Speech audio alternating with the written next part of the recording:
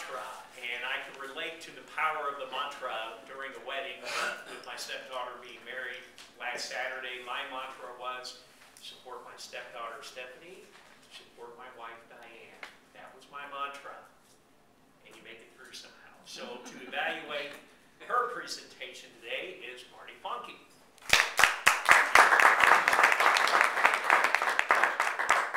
First, I'd like to thank John for narrowing down the voting. my odds of getting selected for that. Sharon, you are a natural. We love to hear you speak, and I've heard you speak in this club many, many times, and you are very relaxed and you engage quickly with the audience, and you do a great job of that. Today's speech was how to say it. It was focused on the words and the arrangement of the words. And it's a good thing because you did a great job of that. There were some other areas you could have definitely used some improvement. So let's talk about the words.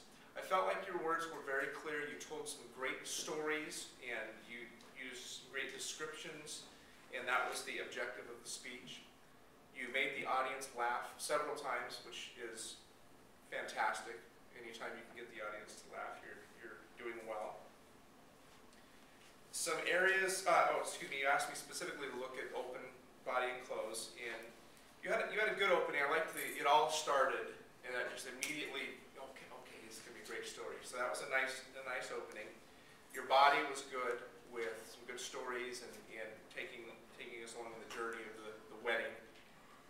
Close, maybe not so much, and we'll talk a little bit about that. Some of the things that, uh, opportunities for improvement, uh, one was you could have stood. I'm not sure why you sat for that one.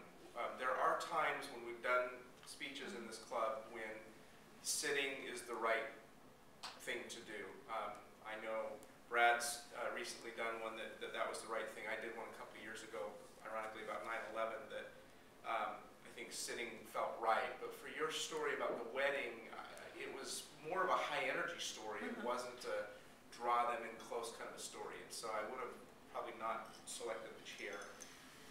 Uh, the other opportunity for improvement would be to get maybe to the point or what your objective of the speech is a little bit sooner. The, the title was The Power of the Mantra.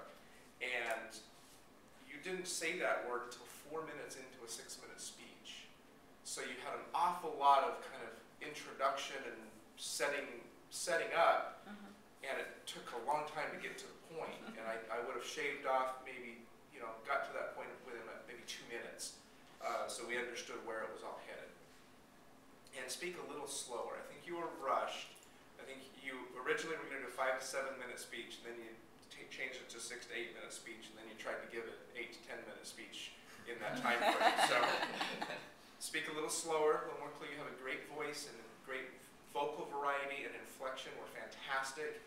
Slow it down so that we can enjoy that a little bit more. Great eye contact, great stories.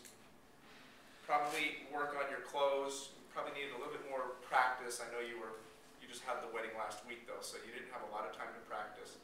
I showed a little bit. I think with some polish that could be a great a great speech. And just on the close, find a way to connect it a little bit more to the audience. We learned about why the mon- mantra was important to you, but maybe connect it to why that should be important to me. Okay. And uh, that would be a, a little bit better close. But other than that, good speech.